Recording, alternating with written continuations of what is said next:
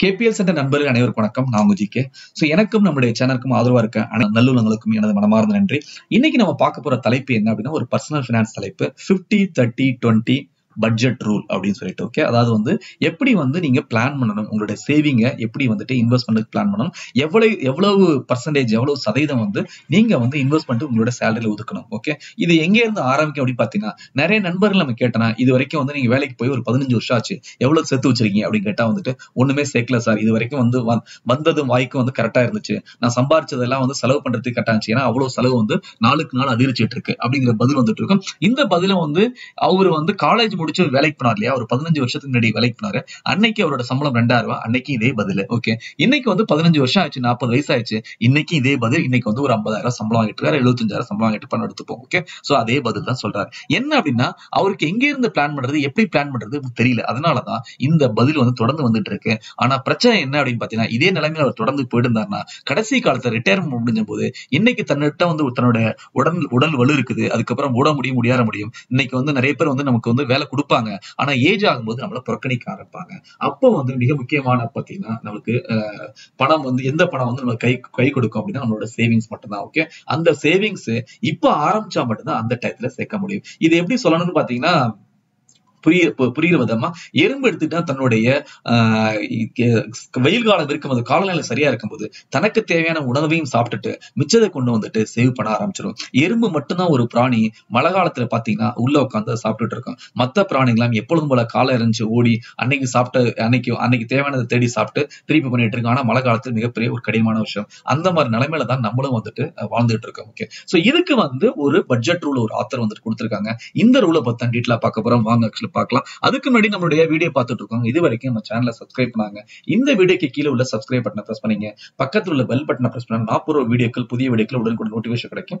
அது மட்டும் இல்லாமல் நம்மளுடைய சேனலை டெலகிராம் மற்றும் ஃபேஸ்புக் சோசியல் மீடியா நீங்க ஃபாலோ பண்ணா கேபிஎஸ் டைப் பண்ணி சர்ச் பண்ணி ஃபாலோ பண்ணுங்க. ஓகே சரி இந்த வீடியோனுடைய தலைப்பு என்ன அப்படின்னு சொன்னா நான் வந்து பர்சனல் ஃபினான்ஸ் சொன்னேன். சரி பர்சனல் ஃபினான்ஸ் சம்பந்தமா வேற என்ன நம்ம வீடியோ போட்டிருக்கோம் அப்படின்னு எடுத்துட்டீங்கன்னா நம்மளுடைய சேனல் போங்க. நம்மளுடைய சேனல்ல கேபிஎல் சென்டர்ல பர்சனல் ஃபினான்ஸ் அப்படின்னு சொல்லிட்டு ஆல்ரெடி ஒரு பிளேலிஸ்ட் இருக்கு. இங்க பிளேலிஸ்ட் பண்ண பிறகு அந்த பிளேலிஸ்ட் நீங்க கிளிக் பண்ணீங்கன்னா இத்தனை வீடியோக்கள் ஆல்ரெடி நம்ம போட்டிருக்கோம். அதாவது ரிச் டேட் புவர் டேட் அப்படிங்கிற ஒரு புத்தகம். இந்த புத்தகம் வந்து one of the favourite actually book for many people those are loving actually personal finance so இதை எழுதினவர் வந்து பாத்தீங்கன்னா ராபர்ட் கியாசக்கின்னு சொல்லிட்டு அவரோட புத்தகத்தை ரிவ்யூ வந்து ஹைலைட்ஸ் நம்ம போட்டிருந்தோம். அதுக்கப்புறம் ரூல் ஆஃப் செவன்டி டூ அதாவது simple actually trick to double your money அதாவது எப்படி வந்து உங்களோட பணத்தை ரெட்டிப்பாக்குறது அதுக்கான ஃபார்முலா என்ன அதுக்கான தம்ரூல் என்ன அப்படிங்கிறது ஒரு வீடியோ பார்த்தோம்.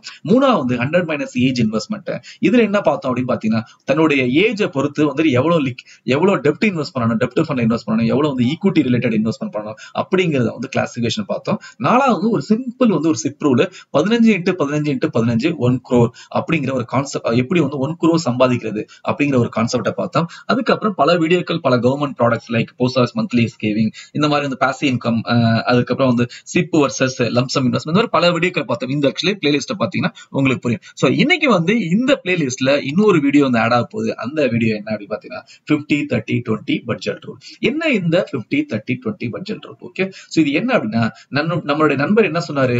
எனக்கு வந்து வந்த பணம் வந்துட்டு என்னோட செலவுக்கே கரெக்டா இருந்துச்சு அப்படின்னு சொல்லிட்டு. அப்ப அவர் என்ன பண்ணிருக்கணும்? ஏன் வந்து இந்த வார்த்தை வந்துட்டு அன்னையில இருந்து இன்ன வரைக்கும் வந்துகிட்டு இருக்கு அப்படின்னு பாத்தீங்கன்னா அதுக்கு வந்து கொடுத்திருக்க வந்து ஃபார்முலா தம் ரூல் அப்படி என்ன அப்படின்னு பாத்தீங்கன்னா இதை கொடுத்தவங்க யார் அப்படின்னு பாத்தீங்கன்னா செனேட்டர் எலிசபெத் அப்படிங்கிறவங்க தன்னுடைய புத்தகத்துல all your worth ultimate lifetime money plan அப்படிங்கிற ஒரு புத்தகத்துல ரெண்டாயிரத்தி அஞ்சுல வந்து இந்த தம் ரூலை கொடுத்தாங்க. இது வந்து தம் ரூல் தான். இது வந்து ஒரு ஹார்ட் அண்ட் ஃபாஸ்ட் ரூல் கிடையாது. அப்படின்னா வந்து எங்க இருந்து ஆரம்பிக்கணும் எப்படி ஆரம்பிக்கணும் அப்படிங்கிற ஒரு ஐடியாக்காக தான். அதுக்கப்புறம் இதை தாண்டி நீங்க வந்து பண்ணுனீங்கன்னா இன்னும் வெல் அண்ட் குட் ஓகே சரி. இது என்ன இது இந்த தம் ரூல் அப்படின்னு பாத்தீங்கன்னா தன்னுடைய சம்பளத்துல அதாவது சம்- தன்னுடைய நீங்க வந்து வேலைக்கு போறீங்க உங்களுக்கு சம்பளம் வருது. அந்த சம்பளம் வந்து டாக்ஸ் எல்லாம் புடிச்ச பிறகு கைக்கு வருது இல்லையா? அந்த சம்பளத்தை என்ன சொல்றாங்க அப்படின்னா ஐம்பது பர்சன்ட் வந்துட்டு உங்களுடைய மஸ்ட் டு ஒதுக்குங்க. அதை வந்து என்ன சொல்றாங்க நீட்ஸ் சொல்றாங்க ஓகே மஸ்ட் டு ஹாவ்னா என்ன அப்படின்னு எடுத்துக்கிட்டீங்கன்னா தன் தன்னோட வீடு வந்துட்டு இஎம்ஐ ஃபார் எக்ஸாம்பிள் வந்துட்டு இன்னைக்கு நிறைய பேர் சிட்டில வந்து வேலை பாக்குறாங்க தன்னோட வீடு வந்து சொந்த ஊர்ல அம்மா அப்பா கட்டிருப்பாங்க அதுக்கான இஎம்ஐ அது வந்து கட்டியே ஆகணும்.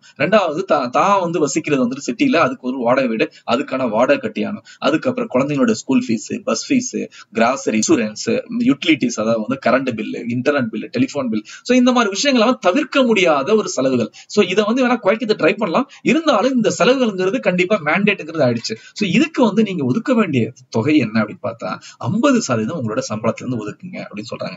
ரெண்டாவது என்ன அப்படின்னு பாத்தீங்கன்னா முப்பது சதவீதம் வான்ஸுக்கு ஒதுக்குங்க அப்படிங்கிறாங்க வான்ஸுங்கிறது என்ன அப்படின்னா நைஸ் டு ஹேவ் அதாவது வந்து இது வந்து அவ்வளவு ஒரு எசென்ஷியல் கிடையாது ஒரு ஆப்ஷனல் இதை பண்ணியே அவனும் கிடையாது.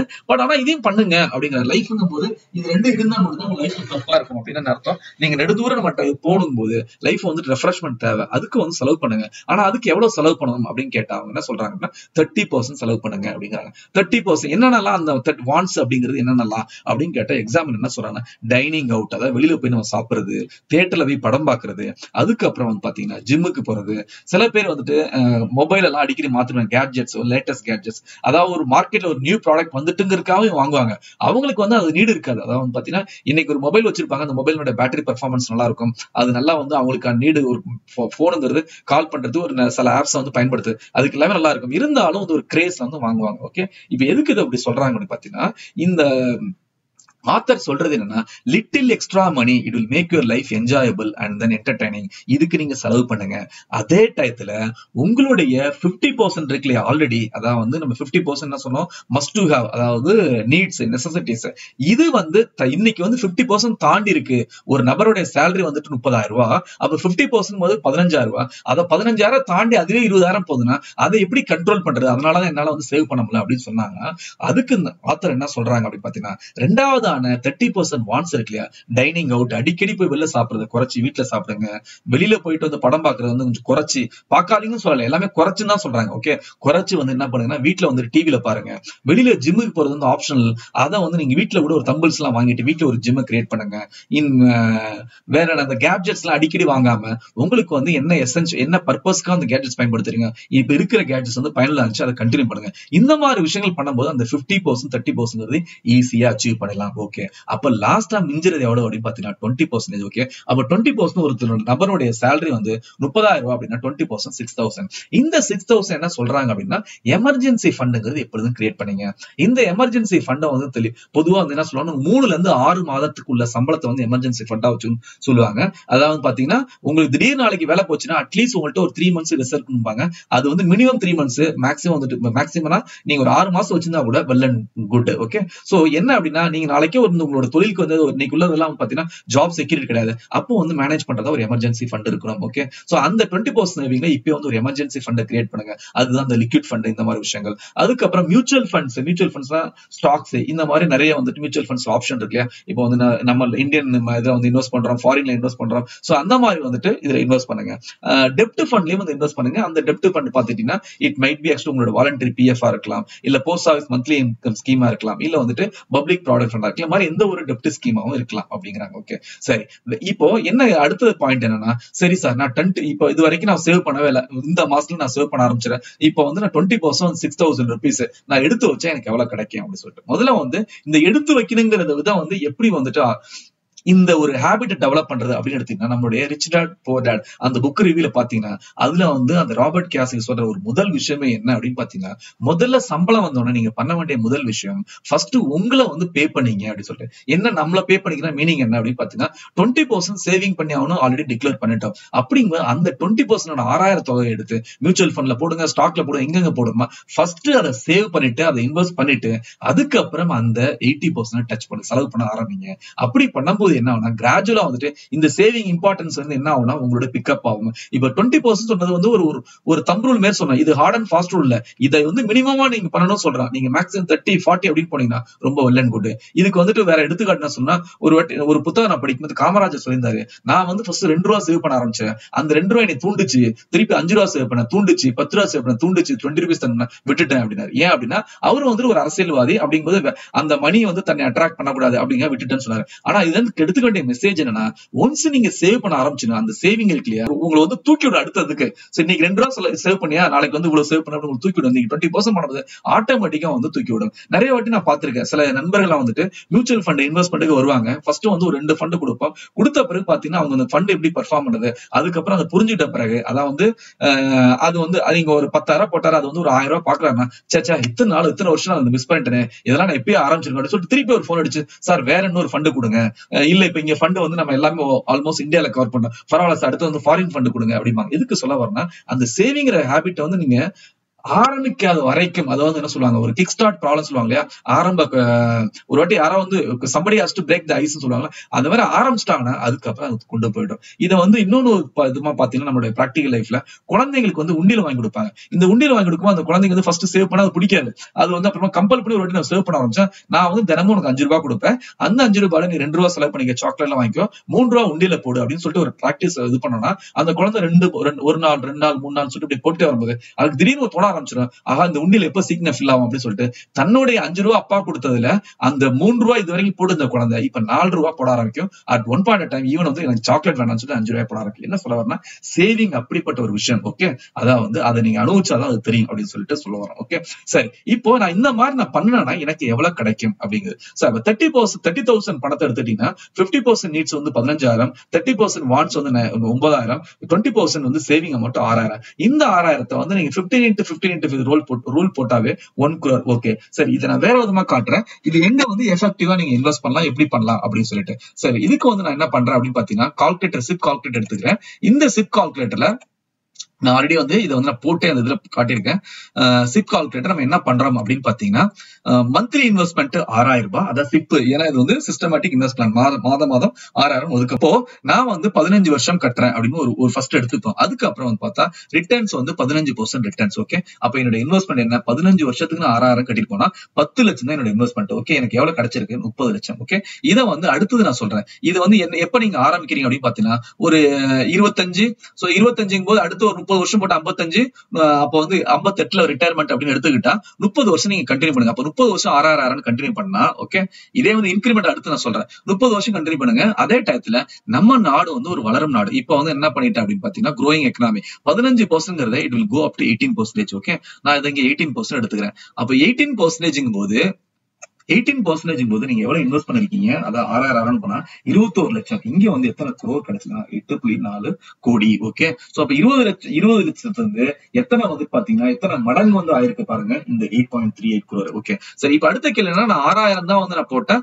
இது வந்து ஆரம்ப காலத்துல என்னோட சம்பளம் அதுக்கு இருந்துச்சு நான் வருஷத்துக்கு வந்து ஆயிரம் ரூபாய் இன்க்ரீஸ் பண்றேன் அப்படின்னா அது எங்க போய் சேரும் பாருங்க. ஓகே வருஷத்துக்கு ஆயிரம் ரூபாய் ரொம்ப ஈஸியான விஷயம். எகைன் வந்து நம்ம டுவெண்ட்டி பர்சன்ட் சொன்னா அப்ப வருஷம் வருஷம் அந்த டுவெண்ட்டி பர்சன்ட் அதான் வந்து நான் சிம்பிளா வந்து ஒரு ஆயிரம் ரூபாய் ஆட் பண்றேன். எழுபத்தி மூணு லட்சம் இருப்பீங்க பதினாலு கோடி ஓகே சோ என்ன அதுல பாயிண்ட் அப்படின்னா சிறுதுளி பெருவெல்லம் ஓகே பவர் ஆஃப் காம்பவுண்டிங்கிறது அவ்வளவு பெரிய விஷயம் ஓகே அதை அனுபவிச்சா மட்டும் தான் தெரியும். அதை அனுபவிச்சு நம்ம கண்ணுக்கு முன்னே- கண்ணுக்கு முன்னாடி வந்து அனுபவிச்சுட்டு ஒரு நபர் யாரு? அப்படின்னு பாத்தீங்கன்னா வாரன் பஃபட் வாரன் பஃபட் என்ன பண்ணிருக்காரு அப்படின்னு பாத்தீங்கன்னா தன்னுடைய அறுபத்தஞ்சு வயசுல வந்து தன்னுடைய இவ்வளவு பெரிய ஹோல்டிங்ஸ் அடைஞ்சிருக்காரு. அதுனா அது வரைக்கும் அவர் கொடுத்தது என்னன்னா டைம் ஓகே சோ அந்த விதத்துல சிறுதுளி பெருவெள்ளங்கிறத வந்து அடிப்படையா வச்சு பண்ணீங்கன்னா இந்த fifty into fifty thirty twenty budget ரூல்ங்கிறது கண்டிப்பா வந்து உங்களுக்கு அடுத்த லெவலுக்கு கொண்டு போற கண்டிப்பா அது உறுதுணையா இருக்கும்.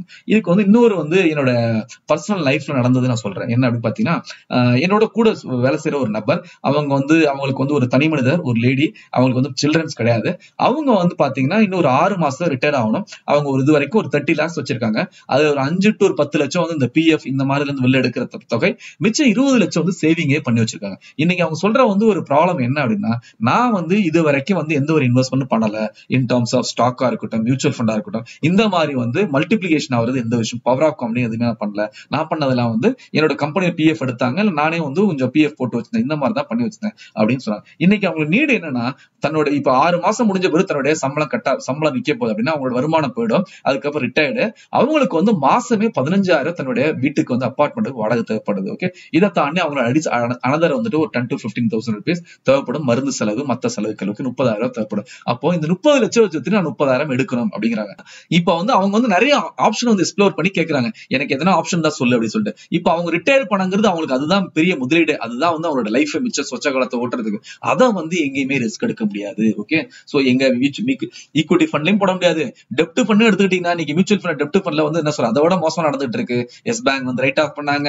வோடோஃபோன் ஏஜிஆர் டியூஸ் இந்த மாதிரி ஏகப்பட்ட விஷயம் இருக்கிறதுனால டெப்ட் பண்ணி அவங்களுக்கு போறது கஷ்டமா இருக்கு. ஓகே சோ அதுக்கு வந்து ஒரே ஆப்ஷனு போஸ்ட் ஆஃபீஸ் இந்த மாதிரி வந்து கவர்மெண்ட் பேக்டு ஸ்கீம் தான் போட வேண்டியது இருக்கு. ஸோ என்ன பாயிண்ட் அப்படின்னு பாத்தீங்கன்னா இன்னைக்கு அவங்க ரியலைஸ் பண்ணி வருத்தப்படுற விஷயம் நான் எர்லி ஏஜ்ல ஸ்டார்ட் பண்ணல.